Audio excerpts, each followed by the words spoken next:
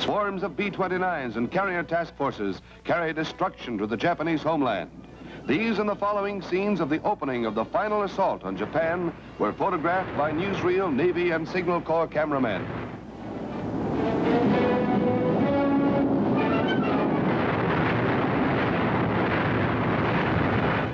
The natural power of the universe is harnessed in the new atomic bomb. Its tremendous possibilities are explained in this chart.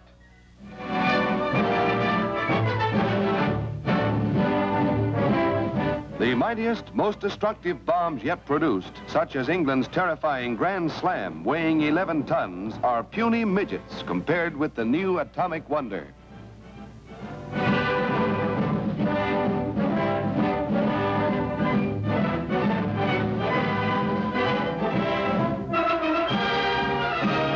Seeking for the best base material to carry the explosive atoms, hundreds of prospectors ranged the province of Alberta. Scientists made uncounted tests before deciding on uranium, which contained atoms easiest of all to crack. Two billion dollars went into research and plants, such as this one at Richland, Washington. One of the world's most closely guarded secrets, the atomic bomb process was developed in widely separated areas. Even the thousands of men and women working on the project had no idea of the staggering energy they were to release.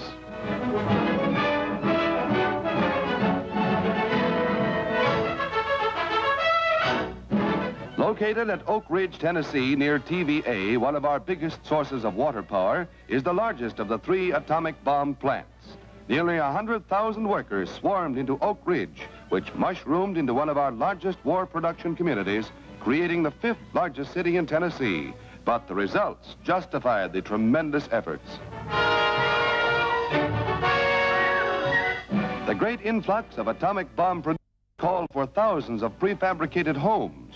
Hundreds more families arrived and failing to find other accommodations, set up housekeeping in Trailer Town.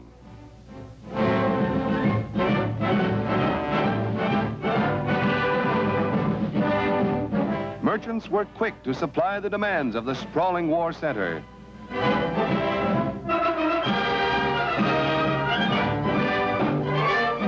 The Generalissimo Stalin, from Lenin's tomb in Moscow's Red Square, reviews his troops. The Russian decision to join in the effort to achieve quick victory over Japan was made before the release of the news concerning the atomic bomb by President Truman.